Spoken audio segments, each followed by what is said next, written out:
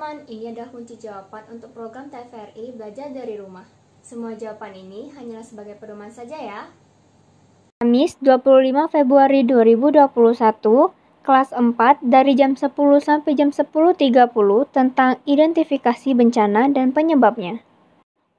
Kakak dan adik hari ini belajar mencermati berita yang memiliki unsur apa, di mana, kapan, mengapa, dan bagaimana, atau yang biasa disingkat adik Simba. Masih seputar bencana, mereka juga belajar memahami tabel intensitas curah hujan BMKG, menjawab pertanyaan sesuai tabel dengan pembulatan angka desimal, serta memberikan kategori intensitas curah hujan yang tercantum di tabel.